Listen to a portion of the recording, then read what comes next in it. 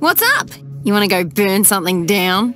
Hey guys, Georgia here with Laughter Heals Gaming. It's been a minute, but last time we spoke, I was talking to you about the incredible experience of playing Vanille in Final Fantasy and how similar Georgia and Vanille, that's been me, uh, are really and what an incredible journey that's been to go on and realize all the similarities and explore them as the character grew and I grew.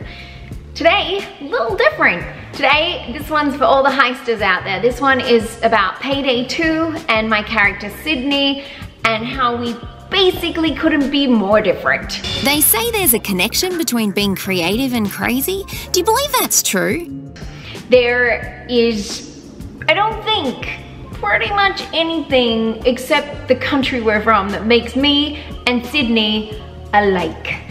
So I thought it would be fun to explore just some basic like, here are some facts about Sydney and Georgia and Payday 2 and things that went on behind the scenes. Okay, so I would have to start from the beginning. A lovely place to start. Many of you might know the backstory in short. Basically, I was working with Starbreeze. Uh, we were getting ready to launch The Walking Dead. May it rest in peace and uh, I was working behind the scenes with him and all that kind of thing. So I knew everybody pretty well who comes to um, LA to work. And Almir and I were hanging out in Bo's office. He had just sort of found out that I was a voice actor. I'd been trying to keep it on the DL and it snuck out in the break room at some point and he is a big Final Fantasy fan. So he got really excited and was like, hey, maybe would you want to do a character in Payday 2? And I was like, uh, And you mean the really like violent game you guys have? And he said, yeah, can you swear? And I was like, are you kidding me? Have you seen this new mask? It's fucking twisted. I said, yeah, of course I can. I just really choose not to. And he said, okay, because you're gonna need to if you're in Payday 2. And he said, are you okay with violence? So we had that conversation. I had a little bit of a home moment and we agreed to go ahead. And then we were like, what can we call her? And he, he said, well, where are you from? And I said, Melbourne. And he goes, hmm, Melbourne doesn't really have a ring to it. And I said, well, maybe like Adelaide? And then he said, what about Sydney? And I was like, uh. so Melbourne and Sydney have that weird rival thing. I was like, okay, fine, Sydney. So we agreed on Sydney and then we started playing with the backstory. So, fun facts about the backstory. We had uh, played with the ideas of where she was from, at first we were looking at Collingwood because I was like, Collingwood, the football team, it's kind of like that area was known when I was growing up as being like the real rough and tough. And then we were like, oh, maybe the gang could be called the Magpies because that's the um, actual Magpie is the Collingwood team. So that's why she's actually a Magpie fan. If you didn't know that, she's a Collingwood fan. But then we decided to make her from Frankston because Frankston's even more kind of like what we call boganish. You can look that up somewhere on a wiki urban dictionary thing. Um, it's kind of like white trash plus kind of a bit rough around the edges plus whole lot of other things. And so we decided Frankston and I was like, oh, how about we call the gang the Frangers? And I was like, that's a great idea. I love it, the Frangers. So we're like, okay, cool. And they, they all thought, well, that's a bit random, but let's call it the Frangers because no one will know. I come to like a week later and I've called my mom and I'm like, mom, I'm gonna be this character. And she's in the gang of Frangers. And my mom, of all people, is like, do you know what a Franger is, Georgia? And I was like, what, like, like a Frankfurter, like a sausage? And she's like, no, look it up. Oh, I looked it up. We didn't call the gang the Frangers. And then we went backwards and forwards on the name for the gang for a while. And they ended up going with the dingoes, which I was like, it's so typical. But anyway. And then little fun fact, they actually did use my face to create hers, which by the way makes me a little bit concerned because She has a very interesting looking face. I didn't know that's what my face looks like. But her face technically is mine. We did the face, facial recognition stuff. So we did all of that next and then we started working backwards and forwards on backstory. So all you people that say she has no backstory, that was months of writing and going backwards and forwards and editing and changing. So she has backstory, motherfuckers. Anyway, I see you on Twitter. They were going off to shoot the uh, live action and I thought, well, I've got to get ready for this, like we're gonna do the whole thing. And of course I'm thinking like, I've seen a picture of her now. She has a big blue mohawk. What are we going to do with that? And little did I know that behind the scenes, they'd been having this whole conversation about the mohawk as well. So they had a planning meeting back in Sweden and they were like, great, it's gonna be super cool. What do you think? Do you think Georgia would be willing to like shave the side sideburns of her hair and we could actually use our own hair? Because of course it's pretty tricky to do mohawks and stuff. And the boys were like, yeah, that'll be, I mean, why can't she? It's a character and she should love it, you know, all that kind of thing. And one of the total legends of Starbreeze, she stood up and was like, no, you not, she is not shaving her head. And uh, so they were like, okay, fine, we won't get her to shave her head. And I literally had my costume ready. I had fittings for the wig. We were all ready to go. I'd had my call time and then the day of the shoot, they called and said, we've changed our mind. We're not gonna put you in the live action for this time. We're gonna do a animated release. So that's how you got the animated release that came out on May 12th, 2016, I think. So little known fact, I actually organized Payday Con. Uh, Almir said to me, I wanna do a Payday Con. Go for it.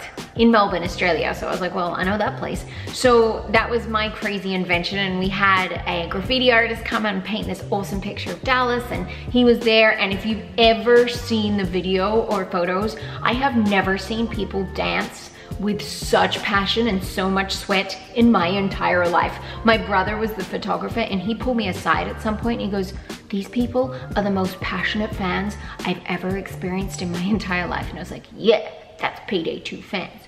Here's something that I learned about my Payday fans. Well, I, not my Payday fans, but like our Payday 2 fans. About you guys, the bloody awesome human beings that love Payday 2.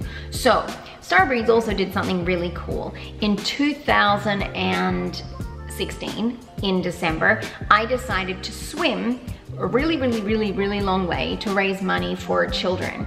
So I run a number of nonprofits and I wanted to make people aware of what it's like to live in poverty and used a swim that I didn't know if I could complete to try and make it happen, blah, blah, blah, blah. Anyway, Almir and Starbreeze decided to do a fundraiser for me to help raise this money, which moved my heart beyond all, it popped out of my Sydney vest so much because we have made a video and we created a Sydney mask, a mega mask, and we were gonna say $10.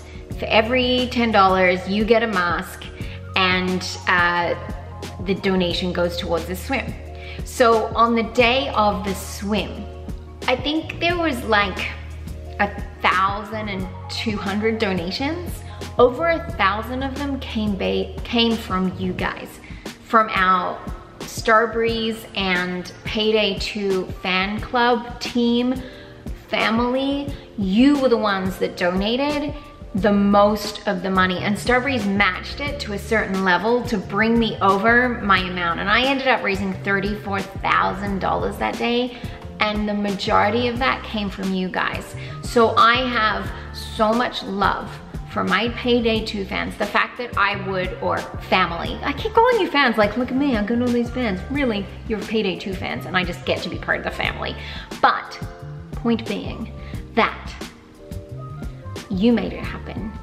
Anyway, you guys are also legends because I would say on average of like 300 to $500 a month is still raised because of Starbreeze's amazing idea to do this fundraiser and your incredible awesomeness, wanting to get the mask for one, and two, donating to us at Arts Bridging the Gap. So thank you so much.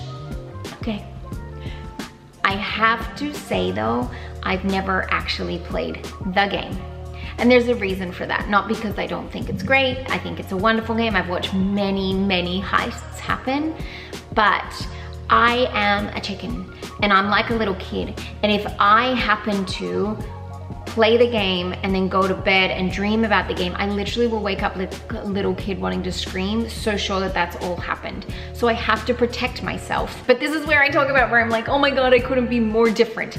So here you've got this anarchist heister from Australia who, well that part's the same, who basically left because Australia wasn't bad enough for her and moved to join this gang and is totally anti-police and all of the like anti-establishment. And here you have this human being who believes in magic, rainbows, lollipops, happiness, sunshine, love, kindness, non-violence, is terrified of bucking authority, has spent a lot of her life trying to get over her need to please everybody, who has long blonde hair, not a blue mohawk, although I did have a mohawk for a while.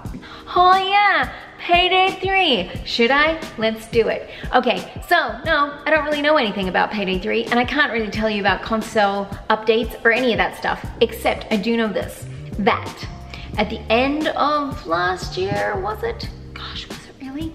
Um, I got together with Dallas and Chains and Almir and Mikhail and Andreas and a few other folks and we talked about what next. And so we have been trying to create the what next of Payday 2, Payday 3, as they develop it and it's happening, what are we gonna do for you guys? So I guess if we wanna do something for you guys, you should probably tell us what you want. So my last is actually a question.